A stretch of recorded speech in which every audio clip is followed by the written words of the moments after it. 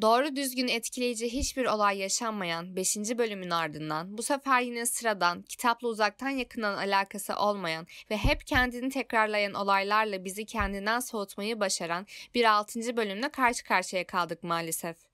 Gittikçe bizi hem ikinci sezondan hem de bu evrenden soğutmayı başarıyorlar. Hal böyle olunca da insanda ne izleme ne de üzerine konuşma motivasyonu kalmıyor. Başladık bir kere izlemeye. O yüzden her şeye rağmen gelin bakalım bu bölümde neler oldu. It is my fault that you have forgotten to fear me.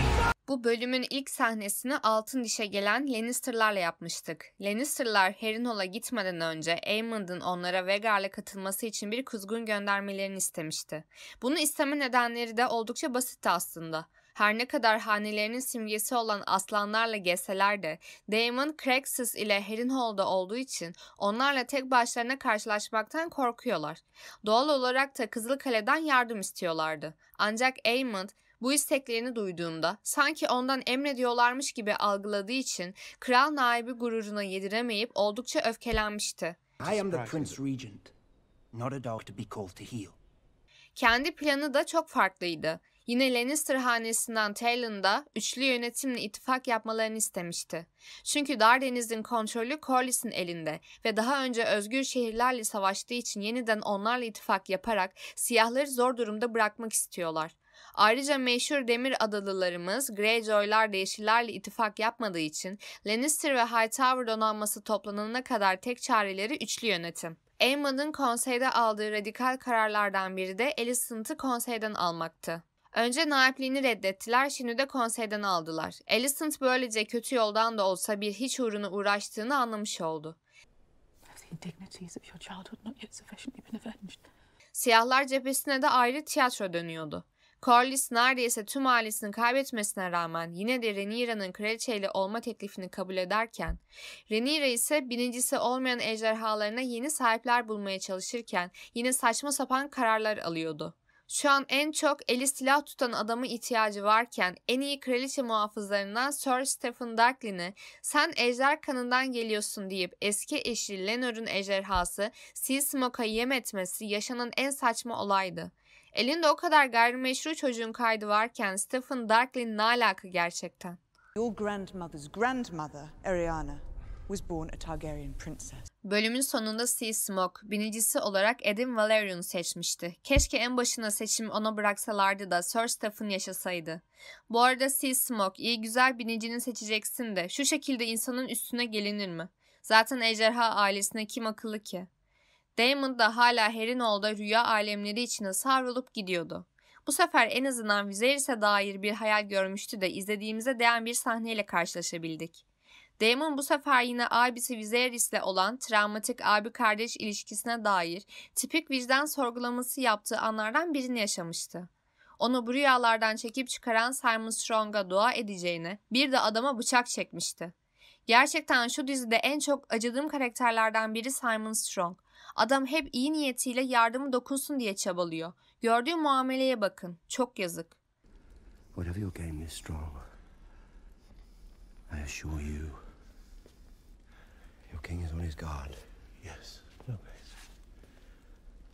Damon ise doğal olarak artık bizim gibi yaşadığı bu olaylara daha fazla dayanamayıp Herinol'u terk edeceği sırada Alice engeline takılmıştı. Alice'in ona tıpkı Melisandre'nin bir zamanlar Stannis Brayton'a yaptığı gibi Daemon'a yol gösterip onun anlaşamadığı Tully hanesinden Lord Graver'ın hayatına son verip Daemon'ın ittifak kurabileceği Oscar Tully'nin hanenin yeni lordu olmasına büyük rol oynamıştı. Our own healer Alice Rivers volunteered her renowned skills. There was not more to be done. Böylece Alice'e de bu hikayenin yeni Melisandre'si diyebiliriz. Alice karakteri diziye dahil olduğundan beri Daemon'ın Rhaenyra'ya ihanet edebileceğini düşünürken Rhaenyra'nın Mysaria ile olan ilişkisi gerçekten şok olduğumuz sahnelerden biriydi. Daemon ve Alice'in ilişkisi gelecekte ne olacağı bilinmez tabii ki. Ama dizinin kitaptan tamamıyla saptığını bilsek bile Rhaenyra karakterini ihanet eden taraf olarak gösterip böyle bir durumun içine sokmaya gerek var mıydı? Orası tartışılır bir konu. Yeşiller tarafında ise Aemond'un aldığı kararlar artık birilerini rahatsız etmeye başlamıştı. Özellikle de Larry Strong'u. Kendisini kral eli yapacak sanırken Aemond ondan dedesi Otto'yu bu görev için bulup getirmesini istemişti. Every king needs a hand. I'll make it your responsibility. Send word to Otto Hightower. Laris hırslı bir adam olduğundan dolayı kendi geleceği için yükseliş yolu Egon'dan geçiyordu. Ama onun da durumu kitaptakinden çok kötü bir haldeydi. Bu yüzden dizi evreninde Egon'un sonu kitaptakine benzer mi yoksa bambaşka mı olur onu da ilerleyen bölümlerde göreceğiz. İlerleyen zamanlarda göreceğimiz bir diğer karakter ise Alicent'ın bu zamana dair hiç sözü bile edilmeyen diğer oğlu Daron. Alicent'ı kardeşi Gwen ile ilk kez bu kadar çok Daron hakkında konuştuğunu gördük. Aslında kendisi çok önemli bir karakter. Neden bunca zamana kadar dahil etmediler? Sadece üstün körü bahsettiler. Bu da tuhaf bir konu. Bunların dışında Reyna, Joffrey ile vadide gezinirken yanmış koyun kalıntılarına rastlamıştı. Büyük ihtimalle bunu yapan ejderha, binicisi olmayan, koyun çalan olarak da adlandırılan Sheepstealer olabilir. Diğer yandan kral topraklarında bölüme de ismini veren önemli bir olay yaşanmıştı. Biliyoruz ki savaştan dolayı halk yiyecek sıkıntısı çekiyor. Özellikle kendilerine verilmeyen hayvanlarla ejderhaların beslendiklerini görünce Kızıl Kale'ye karşı haklı bir şekilde öfkeleniyorlardı. Got enough sheep for your dragons then, but none for us. Rhaenyra da kaleyi içten fethetmek adına Mansere ile yapmış olduğu plan doğrultusunda halkın bu öfkesini kendi lehinde kullanıyordu. Bunu hem yeşillere karşı yaydığı fısıltılarla hem de yiyecek dolusu teknelerle yapmıştı. Halkı kendi tarafına çekmek iyi bir taktikti doğrusu. Ama halkın galyana gelip septe dua eden Alicent ve Helena'ya saldırması yeşillerin hiç beklemediği bir şeydi. Ne ekersen onu biçersin demişler. O yüzden halka sırtını döndüklerinde neler olabileceğine karşı iyi bir ders almış oldular. Genel olarak sıradan olayların yaşandığı bir bölümdü. 7. bölüm de yine buna benzer olacak gibi görünüyor. Bu yüzden fazla beklentiye girmeden izlemekte fayda var. Siz bu bölüm hakkında ne düşünüyorsunuz yorumlara yazın. Bir sonraki videoda görüşmek üzere. Kendinize iyi bakın.